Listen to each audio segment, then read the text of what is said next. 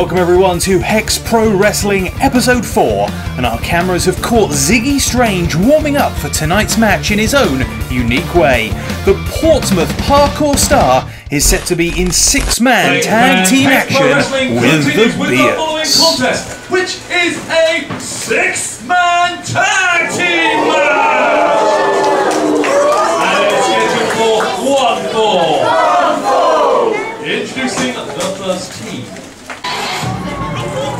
Welcome back to the Hex Pro Wrestling Arena for six-man tag team action. And here come the very first tag team. The combination of Sean Jackson and Vicious and Delicious. That's the hitman for hire there wearing the shades.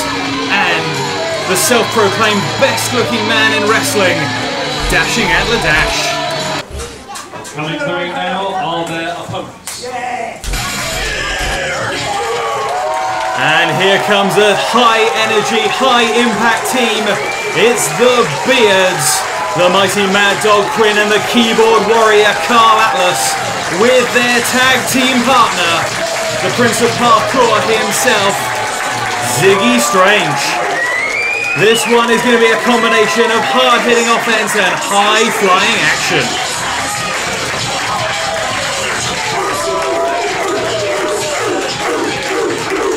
Oh, the crowd are all fired up for this one. So we ring the bell and it is showtime. We are here with Sarks. Hiya Dan, you ready to call some action today? As I think I say it every single episode here at Hex Pro, we are starting with an absolute banger. This one is going to be a real mix of styles, a mixture of ground and pound, technical offense and high flying artillery. Oh, okay. Flips him off the ropes there. Into a wheelbarrow. And a, oh, into an arm drag. Wow, okay. What a great combination of moves from Ziggy Strange there. Watching Ziggy Strange wrestle is like watching the inside of a, of a moving watch. Everything's moving, nothing stops. He's an impressive character to watch in the ring and out of the ring. But you've got to ask the question, sometimes, like there, can you be too quick for your own good? It could be a combination of, oh dear, oh dear, inexperience. That lariat turned him inside out. One, two, kick out at two there. Do not be deceived on how big the Hitman for Hire is. This man is a giant. He is intimidating and he is strong. As Ziggy Strange is finding out right now. He is the master of the spine buster. If you get hit with one of those, it is good night, Irene. Oh, beautiful spinning enziguri by Ziggy Strange, tagging in the keyboard warrior Carl Atlas, a true heavyweight of British wrestling. But he's against one of the best looking and one of the most cerebral wrestlers in Hex Pro in Dashing Ant the Dash. Nice elbow there by Carl Atlas. Throws him into the corner. Oh, and a flurry of strikes to the midsection. Dashing Ant the Dash, very lean. He's really slimmed down over lockdown. Carl Atlas, although he's a big guy, he moves like a cruiserweight. Yeah, do not be again deceived by the size of Carl Atlas. This guy, as you quite rightly said, as we see now, is on the second rope with a cannonball, taking down Dashing Ant the Dash hard. And you can tell, I think Ant is a little bit shocked from that move. Discombobulated by the high-flying offense of the world's largest luchador. Tilt-a-whirl, oh, into a DDT, drops Carl Atlas on the crown of his head. An impressive comeback there by Dash. Now into the monkey flip. No, countered. Oh, but a palm strike right to the beard. And a oh, tornado DDT reversed into a Northern Light suplex.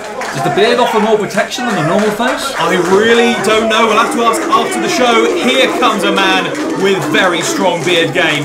The mighty Mad Dog Quinn. Oh, I think we're talking about beard game, let's not ignore Sean Jackson there. He's growing a beard. I mean, granted, he's, a, he's trying, but come on, this guy, Sean Jackson, is not to be slept on. He is a graduate of the Rev Pro Wrestling School. He is a great machine in that ring. Look at him, he's standing toe to toe with, with um, Mighty Mad Dog. very, very tight collar and elbow tie-up. Oh, but a big thrust. A show of dominance by the mighty Mad Dog Quinn. I would say when it comes to power, Quinn has it over Jackson, but Jackson has the youth as well as that tenacity. Look at he is standing toe to toe. That collar and elbow tie up, they are neither of them moving. Giving any give either way. They really are butting heads like two bulls here. The mighty Mad Dog Quinn, he's feeling spicy today. I think he's ready for a real fight here. Oh, okay, looks like he's attempting a German suplex, but the, the sheer bulk, the sheer girth of the mighty Mad Dog Quinn. But look at that, he's gone for the go behind and he's ducking those elbows, but Quinn showing the strength, but Jackson showing his own strength there, pulling his hands back together, locking that grasp tight. Big booty bash there. Oh, but a stiff strike to the side of the head. but it looks like the mighty Mad Dog just absorbs it. They are just trading blows here, forearms straight to the side of the face, and again. These two, uh, your, your, um, your description of two butting balls is very accurate, Martin. They are just going right at each other. Ducks under. Oh, but goes to the eyes. Oh, really? I think it looks like Sean Jackson has found the one weak spot in the mighty Quinn, and that is the orbital regions. And now, what's he going for here? Irish whip out of the corner. It doesn't matter how big, how strong you are, your eyes are your weakest part of your body and the most open to abuse. That is what Sean Jackson done. He's slowed Mad Dog down now and he's in control. For the first time in the match, the Mad Dog is on the back foot, but holding on for dear life there. Oh, Sean with a straight right hand. I'm begging this referee to kind of call, to call some of these right hands off, but he's letting it go. Oh, the Mad Dog is feeling excited. Big slam into the corner. And here we go. Beautiful power slam. Tags in Atlas. Okay. Oh, it looks like we're going for a little poetry in motion beard style. Off the ropes. Rolling senton. Referee being very favourable with his five count there. These guys have five seconds to get in and out of the ring, and this has been longer than five. If I was the team of Vicious and Delicious, I'd be incredibly annoyed. Oh, we've seen this before. Oh, the Hex Pro ring is just a torture device. Here comes. Oh, kicking own partner in the back. I'm begging for this official to get control of this Oh, match. and again. How is this fair? Okay, legal tag. In comes Ziggy Strange. Oh, now we're applauding the legal tag. Great, excellent. Sean Jackson has really taken some punishment in the corner there. Off the middle. Oh, but get kicked square in the face. Talk about giving punishment. A releasing suplex, and in comes dashing Ant the dash. This is a sensible move here. We've got to cover. Kick out at two. Sensible move by the team of Vicious Delicious and Jackson. They've slowed the match down, got the leaner, sharper at the dash in. Now doing their own tag team maneuvers between them and the Hitman. Now, of course, Vicious and Delicious are some of the most decorated wrestlers in the UK today. They are tag team champions across the country. And it is moves like this that show that they are a force to be reckoned with. They most certainly are. and They are dominating here, showing uh, Ziggy Strange exactly what tag team wrestling is all about. Again, a nice quick tag. In comes Sean Jackson, the powerhouse. Big boot to the midsection. And look, in and out within the five count. The, the mighty Mad Dog is not happy with what he is seeing. The referee is keeping him at bay. But look at what's going on behind the referee's back here. But if the referee can't see it and doesn't call it, it's not illegal. Oh, the crowd are not happy with the actions of Vicious, Delicious, and Jackson. But the crowd were happy when it was happening to Sean Jackson when he was Well, getting triple they- team. Come they, on! They have their favourites. They always will. And now the boot right up under the jaw. The referee counting because it is an illegal hold that close to the ropes. Oh, oh, something appears to be wrong with the boot, the knee. we could have an injury here. Oh, I think it's just subterfuge. Look at what's going on behind the referee's back. The referee is checking on Ant the dash. He's clearly injured. We've got to make sure he's right so the match can continue properly. He is fine. He's back up and he's back in control. What we should be talking about and applauding is how well the team have neutral- neutralised Ziggy Strange's high flying ability. They've kept him on the map. That guy means that he cannot bounce off the ropes, jump off the top rope, and use his parkour techniques to win this match. Great plans by the team of Vicious Delicious and Jackson. It may be difficult to see on the camera, but with this six-sided ring, the distance from corner to corner is such a long way. So really, Ziggy Strange has to fight extra hard to make that tag to bring in either Mad Dog or Atlas. Ducks under, off the ropes. What's this going to be? Everybody, oh, it was. It was a double team neckbreaker. One, two, and a kick out at two. That was so close there. I'm sure the team of Vicious Delicious had that then, but look, they're dragging him back into the corner like a bear drags its prey back into its cave. It's just Tag Team Wrestling 101. Cut the ring in half. Do not let your opponent tag in their partner. Now Sean Jackson standing over his prey. What's he going to go for here? Hooking the neck. Which It's a means straight right hand. it's also very impressive how Sean Jackson has linked in with Vicious and Delicious. These guys don't normally team together. This is one of the first times I believe they've teamed. And they are working together like a cohesive unit. It's very impressive. Look at that, distracting the referee while Sean gets a few kicks in. Oh dear, oh dear. A combination camel clutch and a stomp. Again, the referee can't see it, he can't call it, it's not illegal. I I think the problem is the Beards are just getting a little too hot-headed on the apron there. They need to get cooler heads and just cheer their tag team partner. Just call him into the corner. The problem is if they come into the ropes, it is an illegal maneuver and the ref does have to keep track of that. But what is going on here? The double team choke, but the Beards spilling Vicious and Delicious out to the floor. That was needed to happen because I do feel that Ziggy Strange was running out of time there. Sean Jackson's out, but the entire tag team is now out on the floor. Could this be an opportunity for Ziggy to pull a comeback over the top?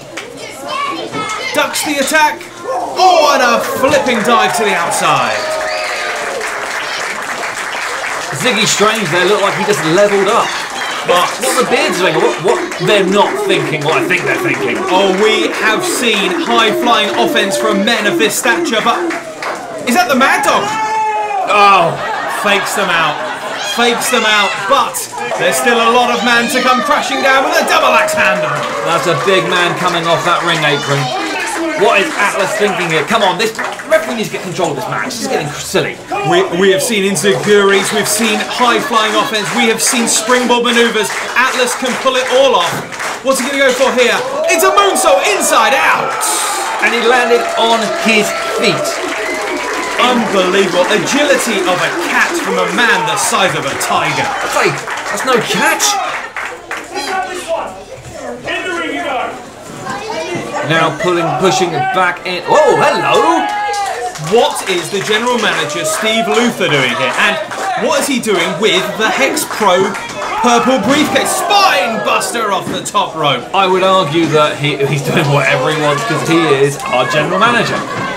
Well, we know in the past, oh, big catch here. What are we going to go for? Big spiraling slam. There we go, the catatonic by Mad Dog Quinn. We have seen that Vicious and Delicious have been working behind the scenes in cahoots with Steve Luther. I, I think. Oh, a beautiful cutter by dashing Ant the dash. We're going to roll up here by Ziggy into the stop. Finally, we see Ziggy Strange getting back in the zone, but cut off by Sean Jackson. This referee has lost all control of this match. I've lost control. Who is the legal man here, mine? I honestly don't know, but slammed down for a very, very strong impact. Steve Luther still there in the background, just keeping an eye on his charges. Well, why not? He is the general manager. He's every right to be out here for every match if he wants to. What worries me is this whole you scratch my back, I'll scratch yours thing. Maybe there's some sort of plot, some sort of ploy hatching. You are just a conspiracy theorist. Well, I'm just giving you black helicopters? Gra- glassy knolls? Come on, Martin. This is wrestling. We don't have conspiracies and back scratching here. Okay, Sean Jackson ducks, but gets hit with a big old slap and a diving clothesline by the master of the lariat, the mighty Mad Dog Quinn. I'm just going to keep my eye on Steve Luther and try and call the action as we see it. Our Mad Dog needs to be keeping his eye in the ring instead of out of the ring. Oh, double Yakuza kick in the corner. Atlas again taking a pounding into the turnbuckle himself. Oh, Here we go, double Irish whip. But, oh, he misses the moonsault. Hooks with the cutter. Sliced Bread number two, oh, into the knees. wow, that is down. I, I, I think Ant the dash is, is is injured there as well. He's holding his face. Oh, could be a broken nose. Referee is checking on him. Hitman is also checking on him as well to make sure his partner's going. But Hitman is dazed himself. Everybody looks very. Oh, but what is going on? Cleaning the clock of both members of the Beards. A diving attack with the purple briefcase. I guess Steve Luther there showing that he is uh, a hands-on general manager. Ziggy Strange flipping crossbody takes down both members of Vicious and Delicious. Sean Jackson's back to his feet. Spins him around. Big right hand. Ziggy Strange here. It's basically three on one now. Sean Jackson. Oh, reversal. Series of strikes. What a big boot by the Hitman for Hire. Oh, a downward spiral drops him right on the crown of his head. One, two, three, and it is a win for Vicious, Delicious, and Sean Jackson. Sean Jackson and Vicious. It may have been a six-man tag, but I think the fourth man in that team was Luther. Get in this ring. Get in this ring. Right I don't think Mad Dog's going to give Luther the chance to not get in the ring. Hang on, Carl, you can't do that! Olympic slam! That's our general manager! Oh, Mad Dog is holding in place. Atlas is going up top. It's going to be huge. How are you endorsing this? How about this? You want to stick your ring? Me and you. Next time we're here in a tables match. And now we're heading backstage to Danny Duggan. It was only a matter of time before Danny Duggan came here to Hex Pro, one of the hottest new rising promotions down here in the South, brimming full of some of the greatest up and coming talent and talent that's been here for a very, very long time. Now, if you know me, you know that everything about me is about the spirit of competition, the spirit of the fight, and bringing out the very best in not just other people but myself. So I'm very excited to see who Hexpro has for me tonight, and I hope they bring that spirit. I hope they bring that competition. I hope they bring that fight, because I've got a lot of heart, and I'm ready to show it down here in the South. The following contest is a tag team match. Coming to the ring first is the first team. So here we go. The main event of this episode is an all-star tag team match. Making their way to the ring with Steve Luther. There we have his protege, his hard-hitting bruiser, Samuel Jacobs, and arguably one of the greatest wrestlers in the world today, international superstar, Hollywood movie star, the Prince of Mumbai, Rishi Ghosh. We are in the presence of true wrestling royalty.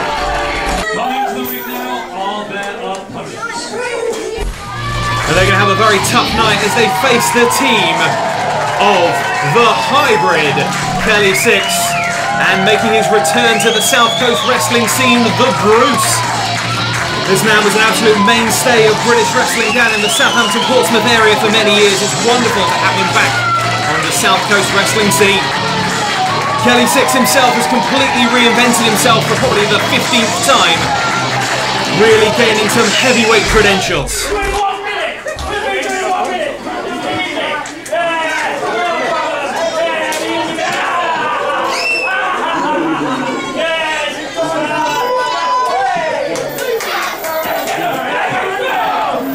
Okay, we're ringing the bell and it's tag team time.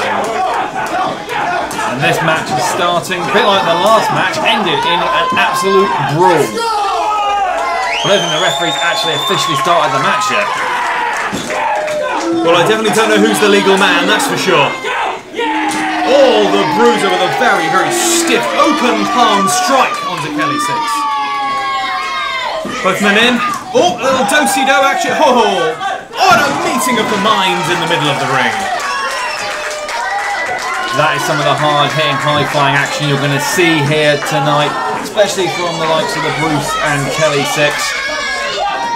Irish whip off the ropes. Oh, low drop kick takes down the prince and a drop kick to the, uh, sorry, a leg drop to the back of the neck. One, two, and a kick out at two. I think we've finally restored some semblance of order in this match. We're officially underway by the looks of it, if nothing else. The prince gets Irish whip off the ropes. Double back elbows. Rolling the prince through. The Bruce going up. Big crossbody takes down the Prince of Mumbai. And a kick out at two. The Bruce there showing none of the ring rust that you might have alluded to earlier, Martin. This is the Bruce's return to in-ring competition here in the South. He's taken a bit of hiatus um, to deal with some personal stuff, and he is back and looking in amazing shape. And some fantastic tattoos as well. Yeah, way too much time in the tattoo chair, some would say, but he is back. And Kelly Six, oh, dear, oh dear. a rare misstep there by Kelly. And a German suplex out of the corner drops him high on the back of his neck. Hooks the leg, kick out at two. Now, all four of these men know each other very well. Fun fact for you, Martin. All four of these men, in fact, all five, of you include Steve Luther, were on my very first ever wrestling show that I worked over nine years ago now. And all these guys have changed, developed, and evolved since then. But especially what I want to draw attention to is the evolution of the bruiser, Samuel Jacobs. This guy is an absolute machine. He has dropped a lot of weight in the last year, got absolutely shredded, and I think this is his time. He's been one of those sleeper wrestlers, one of those dark horses of British wrestling. It's time to let that horse out of the paddock and let him run free. And he is, and what better tag team partner could he have tonight than the Prince of Mumbai? This gentleman is a world-renowned wrestler. He has been everywhere. More importantly, he's a real cerebral veteran of the ring. They talk about knowing every trick in the book. The Prince of Mumbai has literally written the book and is on its second printing. Kick at two. Talking about evolution, Kelly Six himself has gone from being a cruiserweight wrestler to a genuine heavyweight over the last couple of years. He's uh, likened himself to a, a British Samoa Joe, and uh, with his ring gear, he certainly has that kind of visual look. And But even though he has gained some heavyweight offense, he still maintains that high flying style when he needs to pull it out of the bag. It's an interesting mix with, uh, you get with Kelly Six. As you quite right said, a lot of parallels can be drawn between him and Carl Atlas, who we mentioned, who we talked about earlier. The bigger size, but still got that explosive offense when they need it. And at the moment, he needs it. All manages to roll through and tag in the Bruce. The Bruce comes through with a hard clothesline, takes down the Bruiser. Setting him in the corner, big stinger splash there. And for the first time, the Bruiser appears to be on the back foot. Here we go, big, hard, full body slam in the centre of the ring. Or are we going to see moonsault, standing moonsault, picture perfect by the Bruce. That is impressive for a gentleman his size. Both men are down in the centre. What are we going to see from the Bruce here? Are they both going to take the impact? Oh, once again a standing moonsault and a pin. Both men kick out at two. I don't know what the ref was looking at there. If he was looking at Rishi, he was looking at his feet. Come on, referee, get it together. Let's get this match under control. One in, one out. Bruiser manages to reverse. Reversal by the Bruce. Oh, what a big illegal right strike by the Prince of Mumbai. Oh, and rolling through, going for a second German suplex. Hits the second. Can he make it the trifecta? Third. Oh, manages to bridge two. Kick out at two. Great show of resilience by the Bruce. All three of those German suplexes were high impact, high and tight on the back of the neck of the Bruce. I am very surprised that the Bruce kicked out there. And you can tell, look at the pain he's in now. He is on the ropes in the corner. Steve Luther putting his beady eyes in on the action there. I'm sure he's just whispering some sweet nothings to him.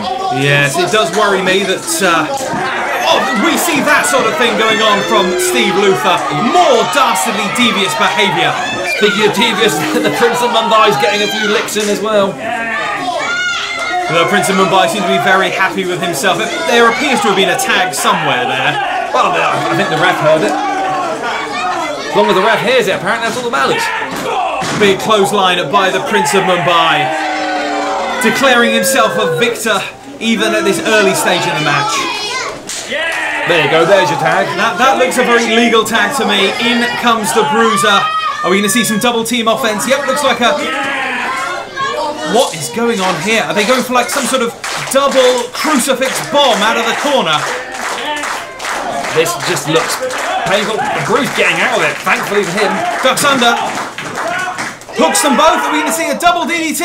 Plants both of the wrestlers on the tops of their heads. That's one of the problems with these double team maneuvers. They're great when they work, but when they get countered, you can take the whole team out. And there's only one man now standing tall, and that's Kelly Six. And Kelly Six is getting this crowd worked up into a frenzy, trying to get some energy, but it looks like the hooks are in. We got the tag. There we go. Manages to break free from the grasp of the Bruiser. The Bruiser goes down. The Prince of Mumbai goes down. Kelly Six is a house of fire here. Oh, but more devious behaviour. More behind the back action. Oh, we got hooks through. Oh, beautiful T-bone suplex there. Impressive throw there by Kelly Six. But again, pandering to the crowd. You need to get on the bruiser. You cannot give him time to recuperate. Because as you say, we do have the Prince of Mumbai at ringside starting to shake off the cobwebs, but Luther is there. That potential third man of the team, always ready to just stick his claw in where it's needed. Oh, looks like we go for an Alabama slam here. A spinning Alabama slam. Oh, face first. Adding insult to injury with the dizziness and the impact. Oh, a power bomb right to the back of the bruiser. Who's the legal man?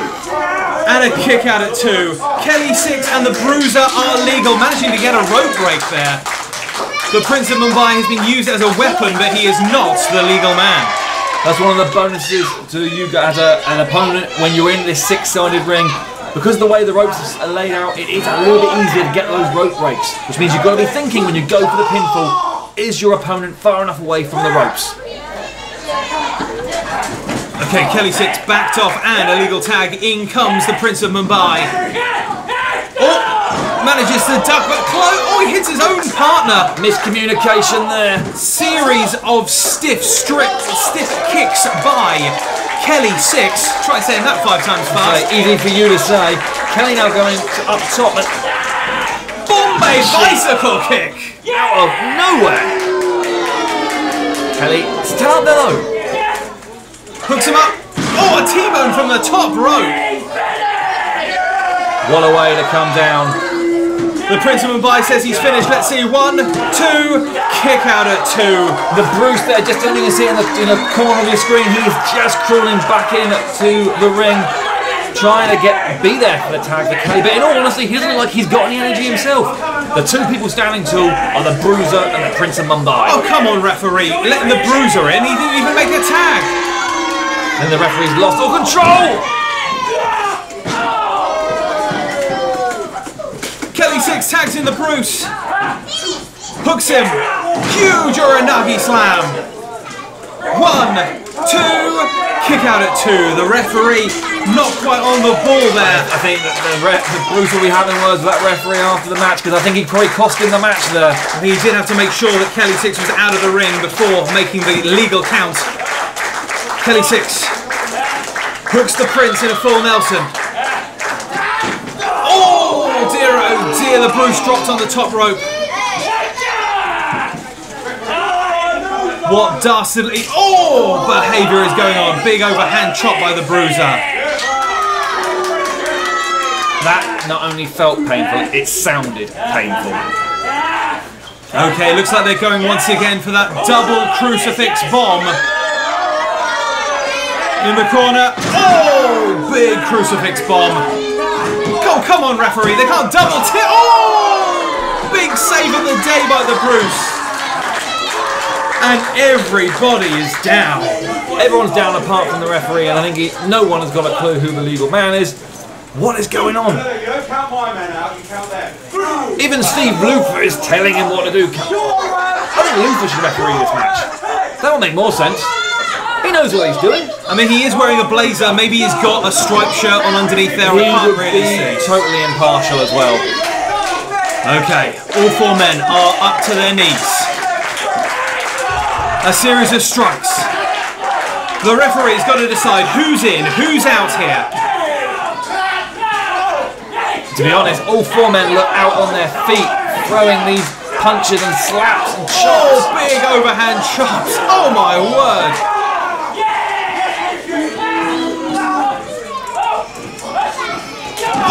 Double enziguris. That was impressive. They made it attack each other's own feet. The Prince is down. The Bruiser is down. The Bruce is going to the top rope. Kenny Six is going to the top rope. What are we going to see here? Oh, manages to reverse it into a Boston Crab. A pair of Boston Crabs. Double submission potential here. Referee is right there. Ready to hear one of the guys say I quit or tap out. Kelly Six is grabbing the Bruce. They're saying, don't let the tag. Oh! Both men kicked off. Drop toe holds. Hooks. Double crossface. And now the roles have reversed. Can the Bruiser and the Prince of Mumbai fight through this? Oh, Luther pulls the referee to the outside, doesn't see the tap out. I hate to say it, but I told you so. Luther would make a much better referee. Th- th- that was blatantly disrespectful to the referee, pulling him to the outside. The referee, he, he hit his head on the floor. Luther was just wanted to have a chat with him and explain about the rules, about how there's only one man from each team in the ring. stop? The referee is knocked practically unconscious. Oh, but uh, Now that should be a disqualification. the bruiser took out Luther. Spinning slam by Kelly Six. Can we get some medical people out on Bruce to the top. Big splash from the top. Piling them up. One, two, three, and a win for the Bruce and Kelly Six. Here are your winners, Kelly Six, and the man we call the Bruce. An incredible victory against all odds from all that outside interference. A victory for the hybrid and the Bruce.